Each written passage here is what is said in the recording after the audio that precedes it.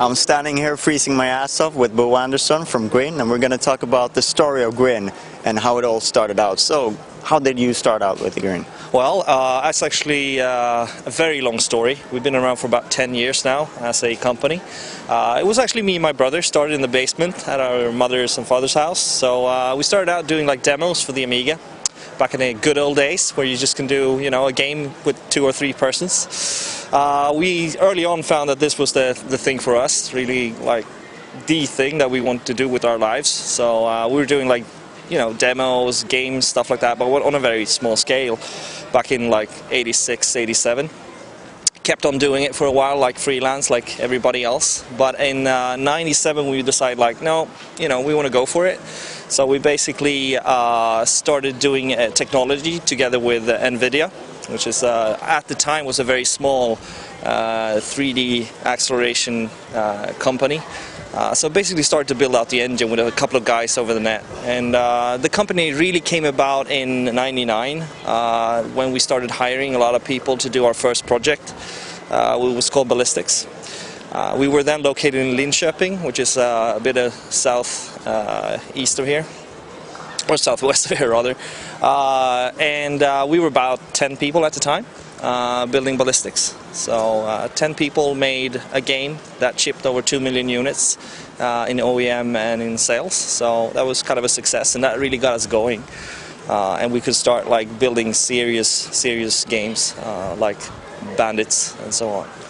So moving back to the good old days, could you tell us something about the first project that you and your brother made? We did uh, something called Gnuttarna, which was like small furry animals uh, that we made a small game about, and we kind of twisted it a bit because it's very cute and you know uh, cozy animals at the time. Um, so what we did was introduce a monster into the Gnut world uh, that had a chainsaw. So you could basically go through this cute landscape with you know all these fussy animals and cut them up with a chainsaw. So that's basically how we started out.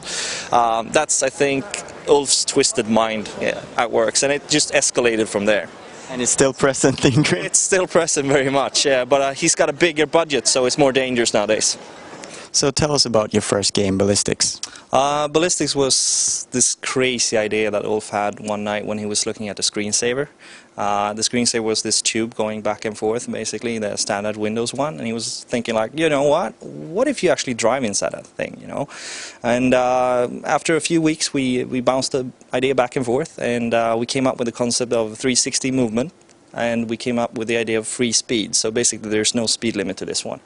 Uh, you can actually go, you know, some people have been going like 3,500 miles per hour. Uh, you ha have to have some decent reflexes for it. And uh, yeah, basically, we uh, we pitched it to NVIDIA uh, to promote the first pixel shader that they were doing, uh, and it came out as the first pixel shader game. It was presented at the Eiffel Tower at their launch, the GeForce 3 launch uh, together with I think it was id and Crytek and us. Um, so it was a big launch, and we got basically uh, famous overnight in the technology era. Um, so that was pretty cool. Can you tell us about uh, the arcade and how that came to be?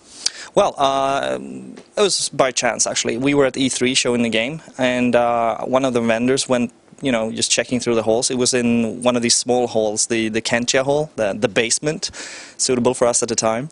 Um, and they were walking by, and when they saw this thing, they called a manufacturer and said, like, you know, you got to come down to the floor and check it out because this could be a good arcade game. And, and the guy named uh, Ernest Yale came down and saw it, and uh, we've been friends since, you know, uh, and we've been doing several arcade machines since.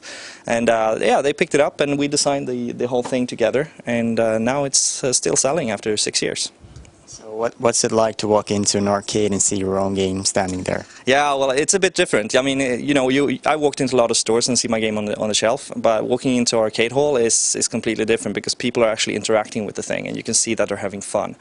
Uh, and it's also nice to walk up uh, to a group and just be able to play and, you know, beat them senseless, you know, because I know this game after a few years, so that's, that's pretty cool.